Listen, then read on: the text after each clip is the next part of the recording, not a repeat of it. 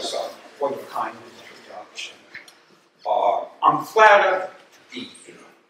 Uh, I'm much older than probably everyone in the room, but uh, I started out here at Brockport, and uh, I'm going to have some take-home messages or some models in this slide.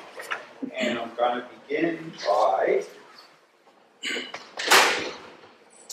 if I'm any kind of success, and I don't think I'm an overwhelming success, there were much better uh, men, uh, there were much better teachers, much better coaches, but uh, if I had any success, it was because I was surrounded by positive people, and they did not have one knack, one needle of negativity. Surround yourself with good people. Second of all, set realistic but challenging goals. Don't be satisfied with what you've accomplished. Push the envelope. It's what I call pushing the envelope. And third, believe in yourself. Uh, some of our take-home messages are the, are the same. Uh, network, network, network. And I'll bring that up in a minute. Where do I come from? I'm from Albany, New York. So that can, but that doesn't account for the accent. Uh, both, my, both, my, parents are immigrated from Germany. My, and my parents were old enough to be my grandparents were when I was born. So my father immigrated uh, after World War I, and he was a uh, structural and ornamental ironworker. He had a grade school education, but he, valued, he, he knew the value of education. My mother was a, she immigrated after World War II. Uh, she was, she complimented my father. When my father was stoic and a bit of a hard butt, uh, my mother was, was a very loving woman, and she was very kind. And one, that's one thing. Be kind to people. Okay. Where did it all begin? Well, see that little guy there? That's me. Uh, that's the only slide you're going to see. Uh, what, what point, why did I go into running? Well, let me tell you a little bit about my sister. My sister was uh, two years older. She was a grade school valedictorian her high school valedictorian, multilingual by ninth grade, full scholarships to best academic institutions, MIT, or University of Chicago, first female math major at RPI. God, did I get tired of being compared to her. I was a boy, all boy. What the, I like going out in the woods, exploring, going fishing, and uh, uh, playing with my friends. But I did one bet, one, I snuck into her room and I took her high school yearbook. And I, I saw that track and field and cross country were revered sports in her high school. So in my high school, I decided, hey, I'm a freshman, I'm going out for cross country. I was the 14th man on a 14-man team. Last guy. Uh, and they had a special club. You'll never guess what it was called. The Beat by Balon Club. And it had a tiny, a tiny membership in my freshman year. Maybe two people. It was small. But anyway, I practiced like the Dickens in the summer between my freshman and sophomore year. And, you know, I was a grunt and I was slow to develop, but I got varsity letters my sophomore year. And you know what I got? I got bad disease. Running on the brain. I thought I was going to be the next world record holder. Not a way. No way. I didn't run the first half of my junior year. Why? I flunked Regents exams in Math 10 and Latin. So my running privileges were taken away by my father, and guess what happened? My grades improved tremendously. So I got to run for the rest of my high school career, which was, uh, I was still a fair to me mediocre runner at best. I had a goal. I wanted to be a high school gym teacher and track coach. So I knew because of my overall academic performance, I, Springfield was, was, was the number one PE school in the nation back in the 40s, 50s, 60s, and maybe even the 70s. But they, they wouldn't take me. I didn't even apply. So I said, I'll apply to two state schools, Cortland and Brockport. Cortland didn't want anything to do with me either. so I ended up at Brockport. And I never, one thing happened in February of 1970. I tracked, for the first time, I traveled west of Utica and visited Brockport. And that was something else.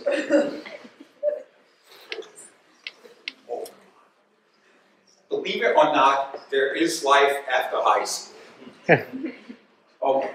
I met my first life mentor, Jim, Jim Fulton, for whom the natatorium is named after. And he was a, he was a nationally renowned swimming coach. Arguably, he was a better cross-country coach. And he always asked me, hey Tom, how's it going, how's it going? Oh, it's going okay. Look at the two models. College is about academics first and foremost. And his second model, okay, the model so see it. and also, uh, he never, in, in running, he never stressed winning. He just said, do your best to your capabilities. Well, maybe in running I tried hard, but in academics, first three semesters, 1.6. You gotta try hard to get a 1.6. three C's, two D's. Second semester, I pulled an astronomical 2.25. And I was still eligible to compete. And he always asked, how's it going, Tom? Doing great, doing great. Third semester, I needed a 2.0, 196, and they booted me out. They, they sugarcoated it. You may not register for classes for two semesters. I flunked out. I flunked out. And 1972 was a year of hell because I moved back to live with my parents. and what happened? what happened? My father retired and he was always around the house. And I said, I can't do this. So what did I do? I went to the selective service to, uh, in, uh, to enlist in the army. What do you think happened? Any guesses? I flunked again! I flunked again! With, corrective lenses. I'm, I have perfect eyesight, 2020. Without corrective lenses, I'm blind, 2200. And I won't go into the story where I lost my glasses in the race.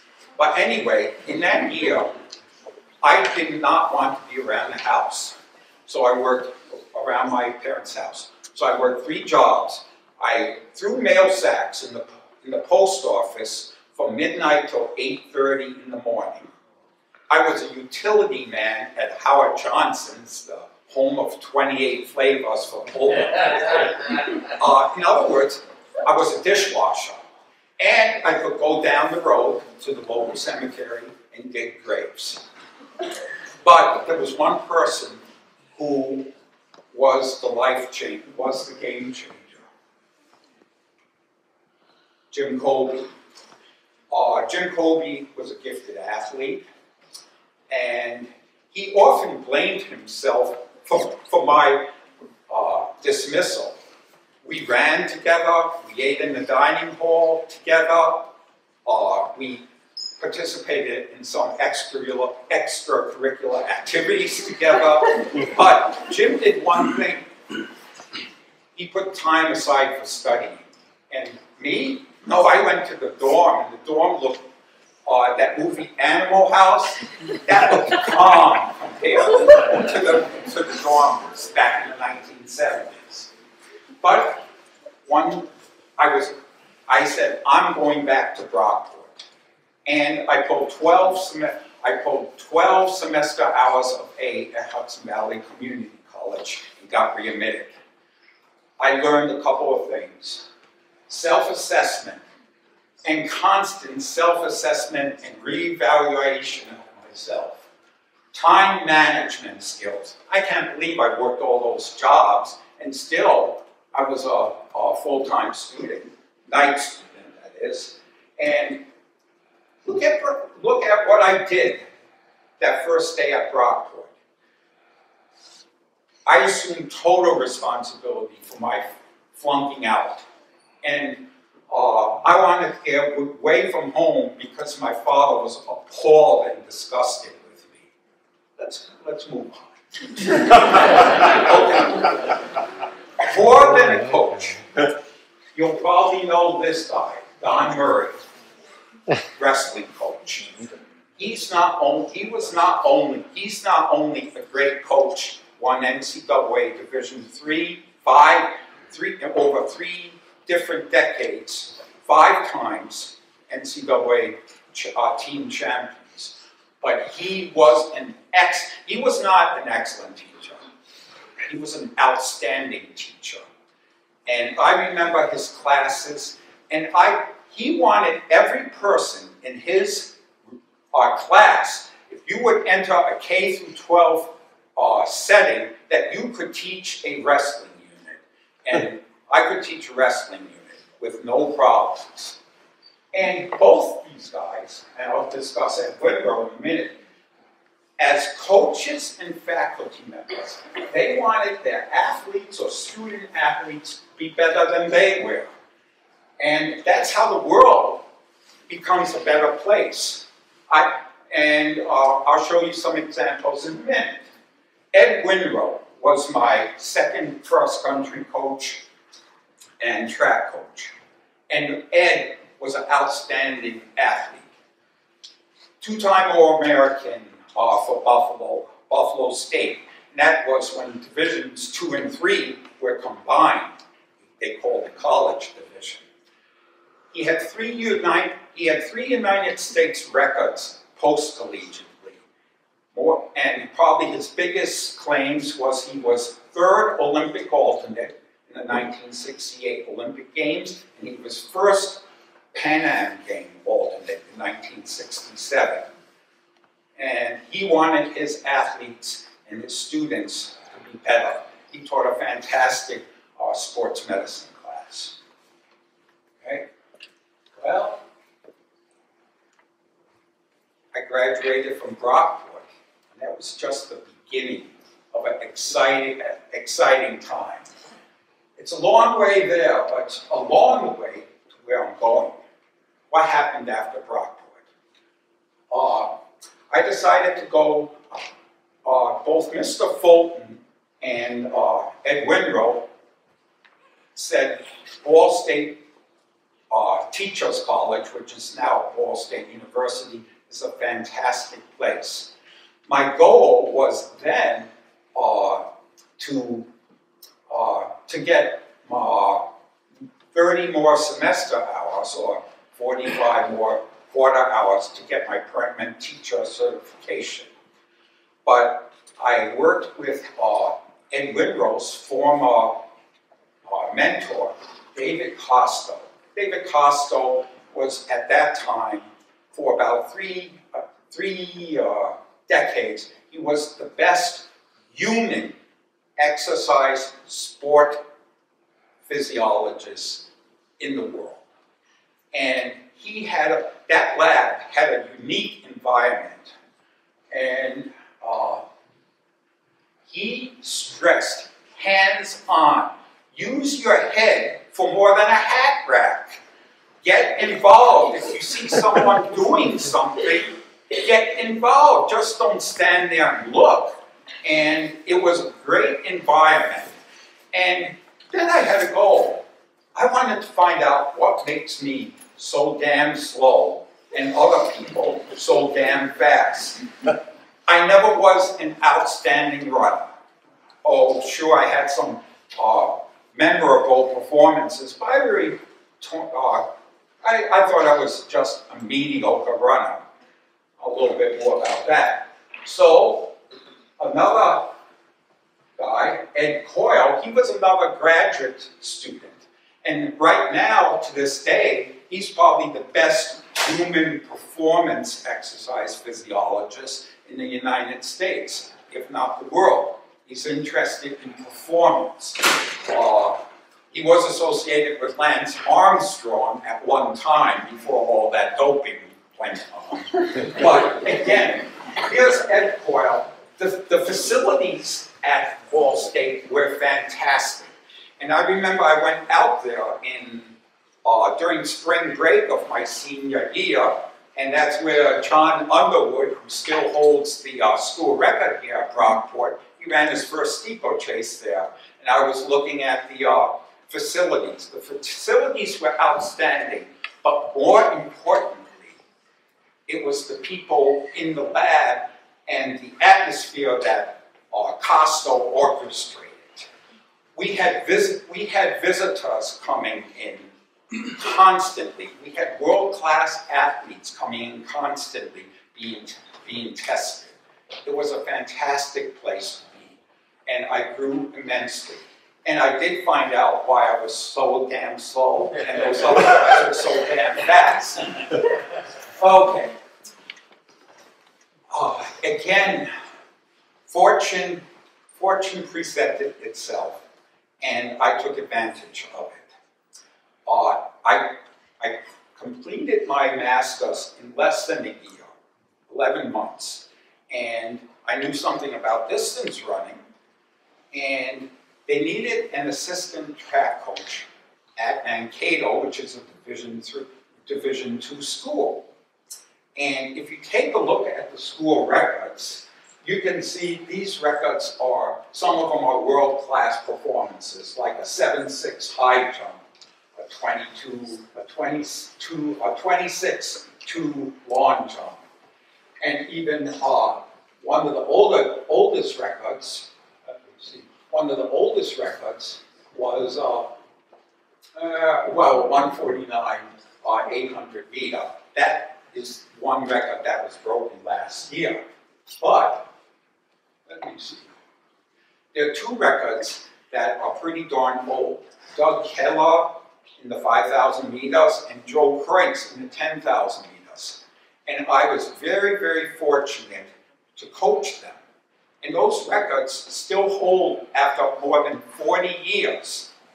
Now, let's push the envelope. And uh, there was that important word that was brought up. Build, build relationships, network. I love when when she said that. I just loved it. That is a message. You build relationships, and some of those relationships last forever. Now, at Brockport, I know there's been a couple Olympians from Brockport. Oh, let me point the, ah, the one as well The story. Three athletes from Brockport qualified for the Olympic trials. John Underwood, Rick Saxton, and Mark Skinkle. And I should say that three athletes from the teams I coached also qualified for the Olympic trials. Lee Anderson, Joe Kreutz, and Doug, Doug Keller. But you'll say, well, where's the networking? Okay? John, after he graduated here in 1978, he wanted to push the envelope. He wanted to see how good he. Is he simply going to be an NCAA All-American? You know, set your goals high and grab, grab the goal. He moved out to Oregon right after he graduated from Rockwood, Eugene, Oregon. One of my former athletes, Joel Kreutz, he wanted also to qualify for the Olympic trials. So what did he do? He and his wife moved out to UT. And John and his wife put, put up with Joe and his wife until they found jobs. And then another Brockport athlete followed, Rick Saxton, who would have the six, who still has a six-mile record for Brockport. And again, John put them up, and he didn't he didn't know Joe before he moved out. But I said, hey, I coached John, I coached Joe, they synergized, and then another Brockport athlete came. Build relationships and build important, lasting relationships. And they helped out one another, because I'll tell you what, Joe Kreutz and Rick Saxton qualified for the Olympic trials about, oh, maybe seven months after they moved out. And John hit the skidders. And, but what did they do? They encouraged John. And uh, in, this, in the next spring, he qualified him for the Olympic trials. Okay? Oh boy. Ride, ever hear the song Ride My Seesaw? well, I guess everyone's uh, less than 60 years old. Moody Blues, Ride My Seesaw. But anyway, uh, that stay at Mankato was so fulfilling. It was fulfilling. So uh, I wanted to go on for a PhD. I went to Mankato because they gave me a glorified uh, assistantship. I was assistant track coach at Mankato, but the athletic director liked me, and he gave me a room in the dorm and a meal ticket. So I, I was set. I was set. So I started my PhD at Toledo because I reset my goal. I wanted to be a exercise physiologist in a university setting. And I got along great at the University of Toledo. Grades were fantastic. Uh, I was on a roll. And I, I started that role at Ball State, went to Mankato, and I was on a roll at University of Toledo. But then my academic advisor left. He transferred to Purdue, and I made a, another mistake. I should have visited. Whenever you're thinking of going someplace, to a university or a life setting, you should visit it. I didn't visit I didn't visit Purdue, but I thought, wow, if I get a, a degree from a Big Ten school, it's going to be much better than getting a degree from Toledo. And that was my big mistake. I went to Purdue and I couldn't even file a plan of study. So in other words, a plan for graduation. It was a. Uh, I looked at the, at the laboratory, and it looked like Dr. Frankenstein's laboratory. There was dust, no lab benches, the equipment was archaic. So, what happened then was I wanted, I made lemon, lemonade out of lemons. if anyone can guess who that is, uh, I don't know, I take you out for dinner. Go ahead. You. No. Uh-uh. that was Fred Wilt. He was a two-time uh, Olympian, and he was the. Uh, yes, it was Fred Wilt. The name says so. But anyway, he was a women's track coach at Purdue, and he was a two-time Olympian. He won the Sullivan Award that, that award is given to the most outstanding amateur, amateur athlete, all sports, wrestling, any athlete, any amateur sport. And it was such a rich experience because uh, my academics or filing plan of study was impossible. I wanted to, I wanted to take a biomedical engineering class. And you know what they said to me? Uh, there's a two-year waiting list. and then after a year, I said, uh, I like to register for the class. And they said, oh, that's only open to biomedical engineering majors. I tried to sign up for uh, advanced, I did sign up for advanced biochemistry class, and I walked into the class, and the guy, the professor goes, oh, I haven't seen you, because he had his four advisors, or advisees, graduate students. I go, oh, my name's Tom Balon. He goes, what department are you from? And I was honest, physical education. And he laughed at me. And anyone who laughs at me, they better get ready for a fight. but I didn't fight him. I studied more for two-hour class than I did for any six-hour class. And uh, one of his graduate students heard me say, oh, I'm a physical education major. And she said under her breath, where's his basketball? That incited me.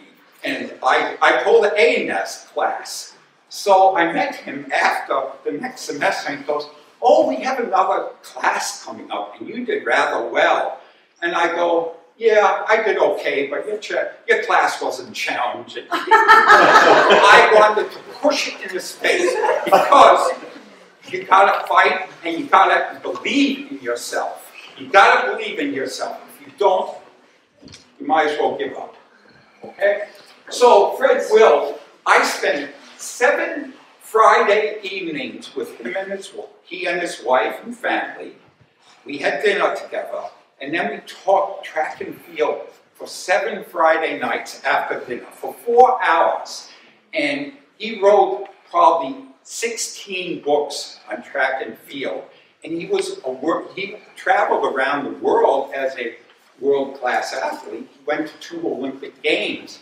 And I was a big benefactor. How much did he learn from me? Well, I don't know. but you give and take. Okay. So, Purdue didn't work out for me. What did I do? I transferred back to Toledo. And I was going through academic advisors left and right. I had another advisor, and he decided to transfer to LSU Medical Center. And I was just about ready to give up on my, my uh, PhD, but I didn't. I sat down and I planned what I was going to do. So what happened was I went, uh, oops, that's not right. okay there was a medical college of Ohio that was loosely affiliated with the University of Toledo. So what I did was I was interested, I was doing uh, studies on rats and exercise and looking at a look at a particular uh, change in the enzyme following acute and chronic exercise. And I did my rat running up at University of Toledo and my biochemical analysis at the Medical College of Ohio at Toledo. And I thought my, my pocket, uh, I was picking up cans to pay for everything. But I was awarded a fellowship and things worked out. Hate to say this, but about 25 years later, the Medical College of Ohio at Toledo morphed into the University of Toledo, and then I wouldn't have had to pay for uh, tuition at the medical school. I picked up uh, my degrees in physical education. I picked up minors in medical physiology and biochemistry. Okay. Oh gosh, yes. Read that what it says. This is to certify that Tom Balon is the fastest human on Earth. It says that, doesn't it? Yeah, Okay. Was I the fastest human on Earth? No, no. But I, I faced uh, a crossroads. That was, I was going to pursue a postdoctoral fellowship. And I've already been in college for 13 years. I started in 1970. I got my PhD in 1983. But I realized that I was at the end of my improvement. I improved tremendously because I gave 13 years in, oh, well, 13 years of college, actually uh, plus four in high school. I was running for 17 years.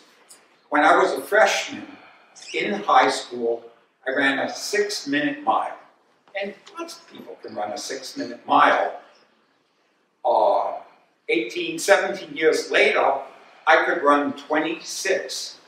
six minute miles back to back. I ran a 237 marathon. Respectable, but I wasn't a world class runner. And I realized that my improvement was, I was leveling out. But we take our victories when and where you can get them. Uh, I got that uh, certificate back in um, uh, at some race, and that was the race course up and down the hills in Michigan City, uh, Michigan City, Indiana. And those were hills, six miles of hills in the sand. I, I was, I retired, but I also ran three ultra marathons, uh, ranging from uh, 10 hours in length to uh, 50 miles. I did a postdoc. I decided to do a postdoc. And everyone was doing postdocs under one particular guy, I won't mention his name, at, uh, Boston, uh, at Washington University at St. Louis. I decided to go a different route. I went to Boston University from 1983 to 1986 under Neil Ruderman. Neil Ruderman had his MD degree at age 17. Well, he, needed, he did his residency, and he loved research, but he was a clinician. But he loved research so much, he did his DPHIL. Does anyone know where you can get your DPHIL from? Any guess? Come on. Please. You won't get it from Hudson Valley. Come on. Give me a guess. Yes. Go ahead. Go ahead. Toledo. Toledo, no. He got it from Oxford. And he got it from Oxford under Nobel Prize winner, uh, Sir Hans Krebs of the Krebs cycle. And I realized he had some models too. He said, well, we'll accept your strengths and rectify your weaknesses. Did I have any strengths? The strength was I put all my energy that I used to put into running into working in the lab. And well, I should say, we'll, uh, we'll work you to death and rectify your weaknesses. Uh, I had a, let's say, com communication. I wasn't an, I'll never be an elegant speaker. Maybe I can entertain, but uh, I'll never be an elegant speaker, but I learned how to write. And he said, create your niche. And I, I published a series of three studies dealing on uh, post-exercise thermogenesis. The increase in oxygen consumption that is present after you stop exercising. And that was my niche. And uh, it was a good niche, but it was short-lived. I took my first faculty position at University of Iowa. And these are two students. Uh, one was my first graduate student, Craig Welk, and he's done remarkably well. Uh, he's an endowed professor in the Department of Kinesiology at, at, at Iowa State University and conducts research on the assessment and promotion of physical activity and exercise. The other one Jeff Horowitz, he's a full professor already at uh, University of Michigan, Big Ten school. And they're both uh, NAK fellows, that's National Academy of Kinesiology. They stayed in the study of exercise. And now I would say that they've done so much uh, that I almost stand in their shadows. I wanted to, to produce students who were better than, than I was. I produced runners at Mankato who uh, were faster than I was, and I wanted to produce students. And next slide. And some of my students, they got the degrees in exercise science, but they morphed into pretty good physicians. All three of these are former undergraduate students, undergraduate students advisees. They decided to, produce, to uh, pursue medicine, and all three of them are renowned on a national level in different areas. Anatomical uh, pathologist, a dermatologist, and an ophthalmologist. And uh, Katie, well, her maiden name was Katie Ketoff. She, she was, uh, she confused she confused me, but it was confusion in a very nice sense. She came to me after taking my class and she said, goes, I want to do my senior project in your laboratory. So we talked about it, and uh, she said, I want to begin it as a junior. I don't want to wait till my senior year because I'm, I'm going to be quite busy in my junior year. So I go, fine. And I passed by, I passed by the swimming pool. Well, the first time I met her, she had green hair. And I said, I, I couldn't care less whether she had green hair or red hair. I accept all students. I don't care whether they're black, white, any. I just like to deal with students. But she had green hair, and I thought, well, maybe she tied it for uh, St. Patrick's Day. You know, maybe she met Dr. Frankenstein. I don't know. I went by the pool, and she spent up to four hours a day in the swimming pool training year round. And why would she have green hair? Anyone with a swimming background? Chlorine. Chlorine. and chlorine and copper. Copper interacts with chlorine and it'll turn uh, your hair green. Anyway, she turned out not only, she was a two-time All-American Division One diver, and I, I wouldn't want to dive off those uh, boards. Anyway, she was a great, she was a great asset to the lab. And not only did I have undergraduate uh, uh, people, students in my lab, but also I had my two bright hands. Julie Ort was the first uh, technician that I hired. And I hired her because she was organized and she was the backbone of the lab. She promoted a contagiously positive atmosphere. And what did I say about negativity? No room for negativity. Think positive, think big. And uh, there, then there was Arnie Jasmine. And he was, a, he was a heck of a guy, and he was different. He worked for me for 11 years, and he started out as a work-study dishwasher. And those dishes were clean, I'll tell you. He was, he was of a dishwasher. But then he wanted to get hands-on experience, so he started making buffers. He performed simple assays or measurements. And then he was my right hand when I was doing surgery, because sometimes you just need an extra hand to tie a tie a knot. And one thing I didn't like about Arnie was he was about 6'4 and about 260 pounds. And he just, you know, when I had to tie the knot, I, I like, I didn't have any room.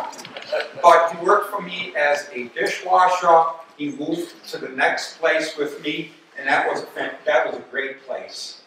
Uh, uh, I'll break this up for a minute. I, will move on to my next place, but I want to give acknowledgement to, to these people. These were my scientific colleagues. And again, I stand in their shadows. Jeff Pessin, uh, one of the best uh, molecular biologists in the world of uh, diabetes, and Allyn Mark, who received uh, the highest award by the American, Di American uh, Heart, Heart Association for his contributions in hypertension. They were those two guys were team. They were my teammates. They were my collaborators. Well, you, you would say, well, if those guys are world class, what did you, you know, how was you a teammate of theirs?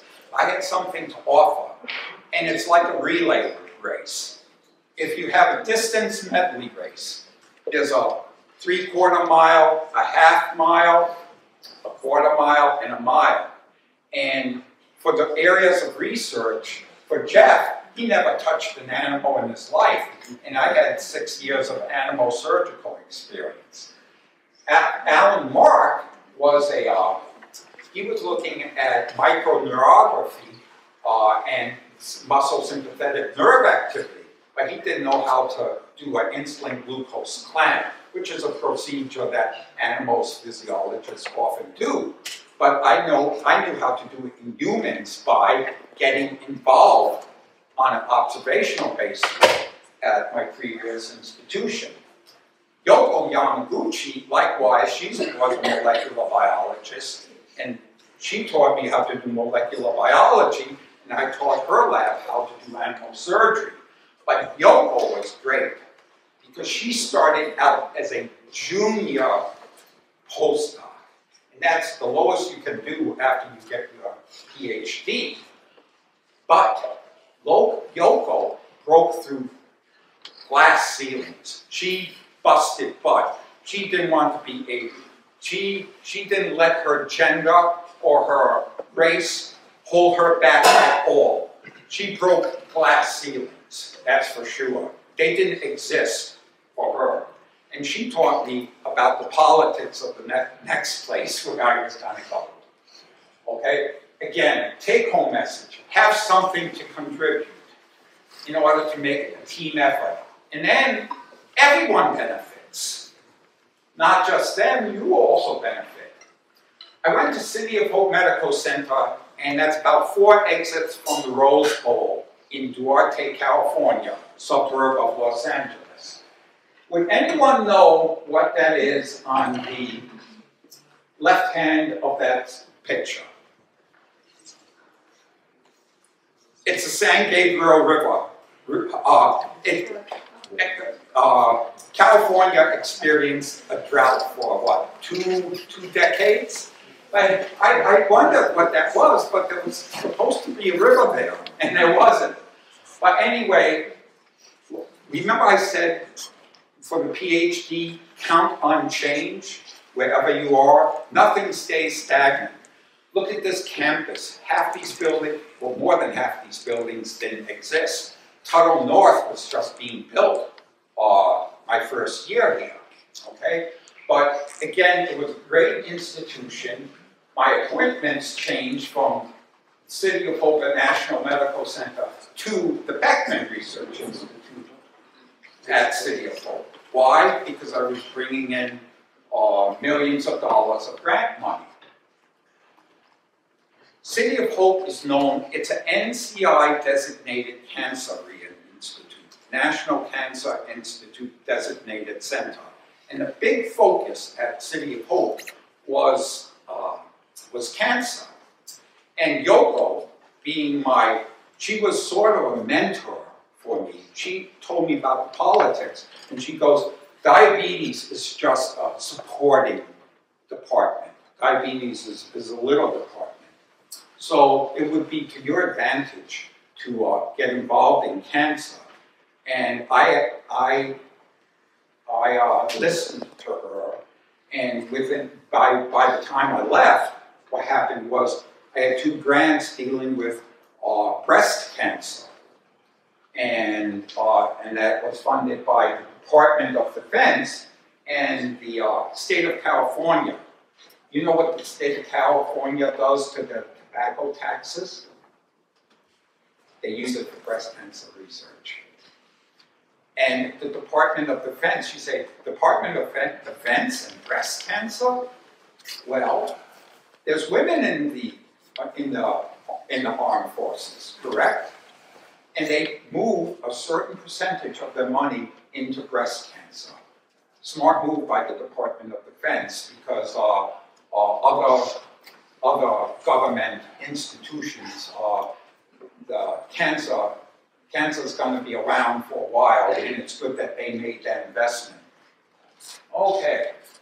Uh, I'm almost done. And yeah, I thought I was going to talk four and a half hours, but now I'm, I'm cutting it short. uh, well, I really wanted to talk for six hours because I had to I had to talk to you about 50 years. But anyway, uh, City of Hope was a great place. But what did on the slide that I showed Jim Colby, what did I say? What did I?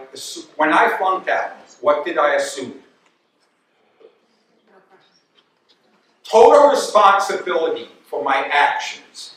And City of Hope edged on that because I was off campus and I have minus 80 freezer with all my samples stored for the last 16 years. And the freezer broke down. But I had two alarms on the freezer, and the alarms didn't go off. So I lost 16 or 18 years of research in one night. And what was I supposed to do? Start over again? I lost my work product. Investigators sent me tissue samples. I exchanged tissue samples. So my collaborators uh, lost something too.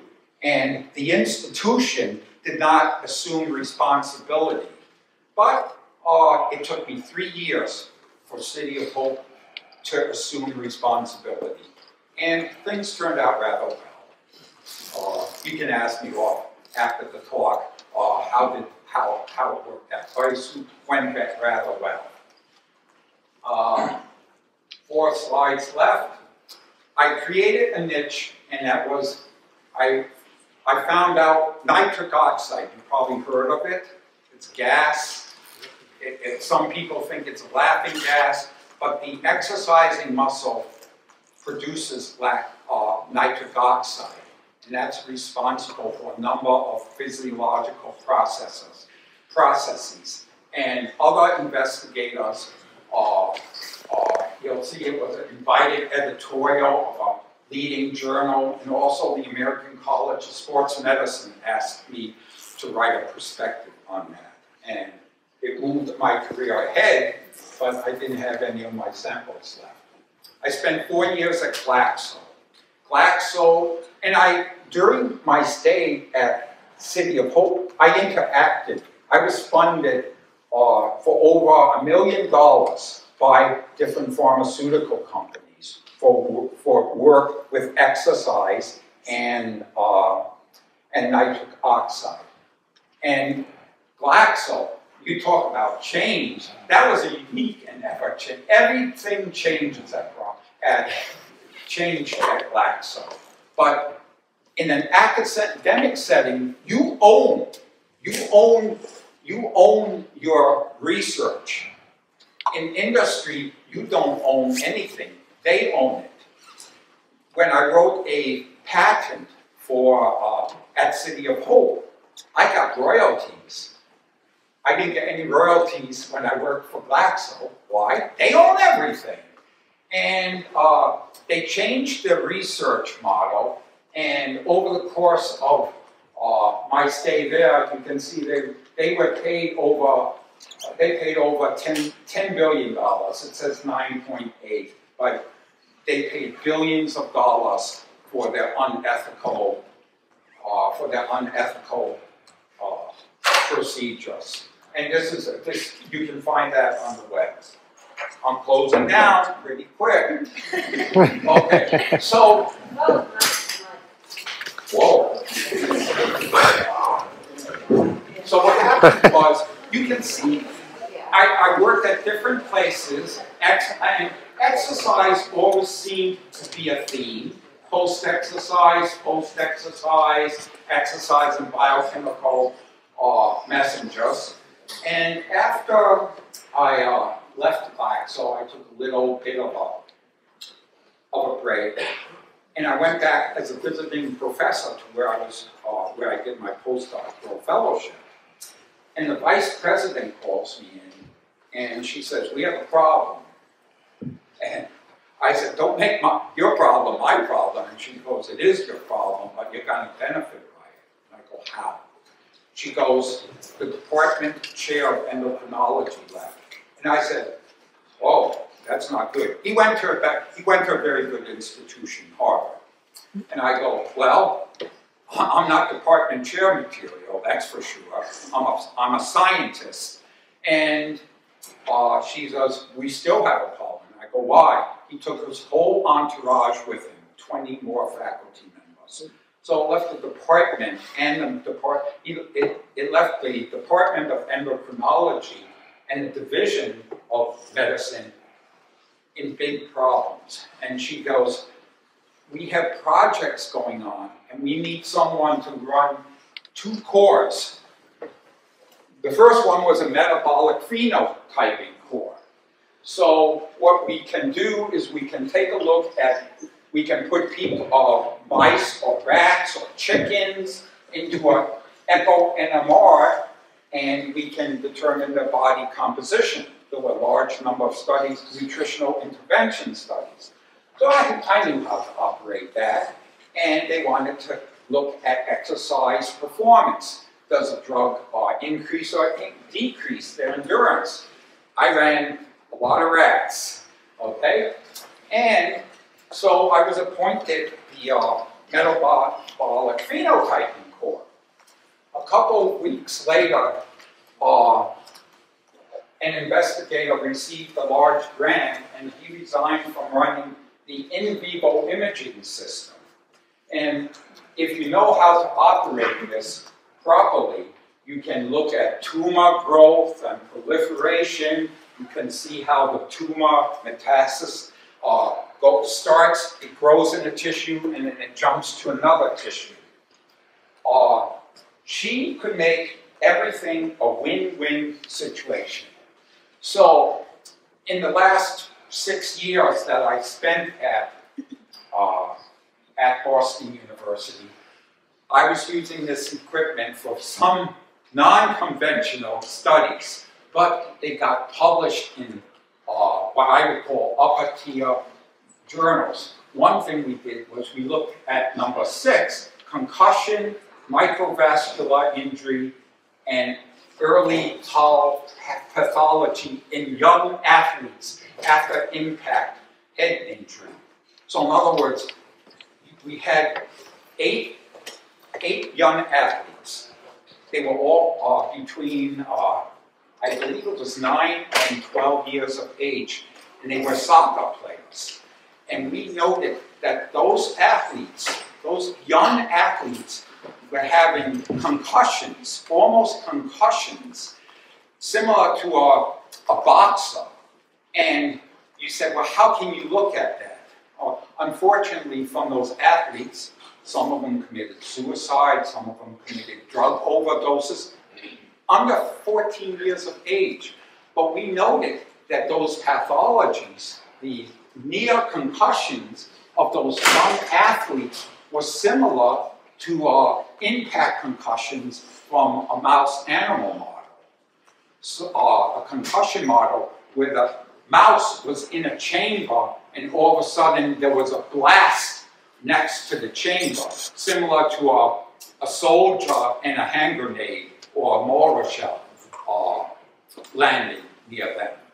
So again, of all these studies, I only wanted to include myself as a co-author. I was asked to co-author all these articles. I wanted to give the younger investigators a chance. Why put my name on it? I simply was providing a service for them.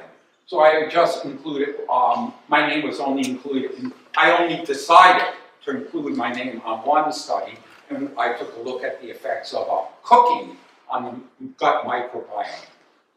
I've talked enough. But I'm going to answer any questions that you might have. Questions? No questions? Why not? Come on. Okay. Yes. Um, Talk loud. After going to so many universities, what keeps you coming back to Brockport? Uh, Brockport is where it all started. I, I have an allegiance to this school. And it was started out in intercollegiate athletics. I had great I had great coach. I had great mentors. This is where it began. And I love track and field and cross country. I love I love the athletes. They're, they're all they're a very good bunch of young men and women. And I love competition too. I love people just running, running, throwing, not throwing elbows. I love. The thrill of comp- there's nothing like the thrill of competition. You know? And there's not I wouldn't trade it for the world. I wouldn't trade, I mean, I'm I'm not, I'm done competing. You're not gonna get me running that another race. But I love the competition. And there's nothing like it. It's so, it's beautiful. It's beautiful. When I saw the NCAA uh, women, did anyone take a look at, look at Iowa beating South Carolina in the women's basketball game? That was fantastic. I loved it. You know, seeing uh, Caitlin Clark, uh, she, she either scored or assisted on like 38 of uh, Iowa's first 45 points. She took charge and she believed, believe you me, she believed in herself. That's great. I'm all for uh, women's athletics and men's athletics. I'm glad Title IX came across. That was a game changer. And sooner or later, maybe we'll have women's wrestling. I, I love I love athletics, but I like I like uh, I like I like Brockport. This is where it started for me. Another question. Are you afraid?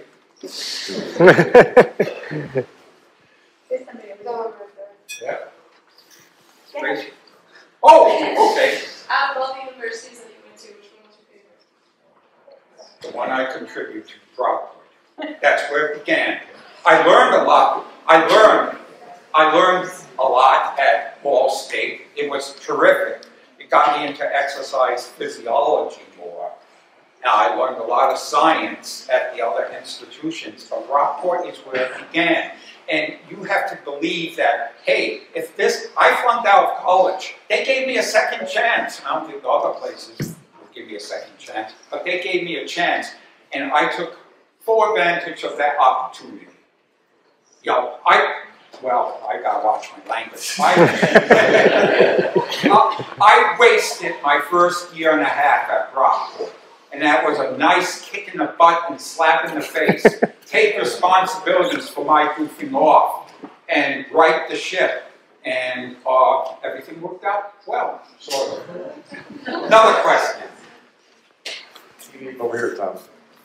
So uh, what made you slow and made them faster? Well, I blame my parents. I blame, it's part, it was mainly genetics. I was born with a very, very, uh, a very, very large amount of slow twitch fibers. I can, uh, there's a number of women athletes on the team who can run a quarter mile faster. I had, I struggled to break 60. My fastest quarter, I think, was 58.2. That's rather benign. But, again, for six-minute miles, I put 26 of them back to back. Oh, one other thing, another take-home message, another take-home message. Uh, I stayed with it, I persevered, and for those guys who pushed the envelope and qualified for the Olympic trials, it takes about 10 years to really develop yourself. It they pushed it after, after college. They gave it another couple years. You know, high school four years, college four years, and uh, John Underwood pushed it for another six years after he graduated. It takes a, a certain amount of time to develop. They're not going to happen overnight. Now, if I was 100, if I was a uh, perhaps a dash man, 100 meter, 200 meter, it's a lot less time. But for distance runners, it takes time. Another question. Come on, Smiley. I see you. Come on, you, you want, you're biting at the bit. I'm humbled, I'm very humbled to have been invited, and I'd still like to know who invited me to be a speaker. I'm not a terrific orator. My speaking skills are not great. I hope I send, I, I hope I educated I hope I inform. I think I may be entertained. and I hope I inspire someone. Move to greatness. Don't settle for mediocrity. And if you're at Brockport, it can be done anywhere. Thanks.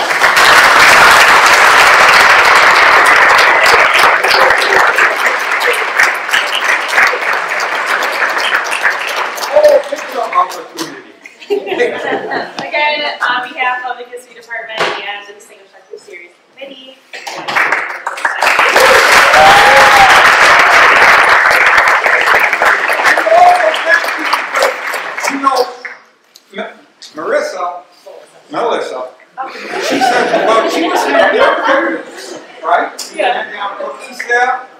And she says, I don't know, maybe I should hand out tomatoes. But thanks a lot. And, and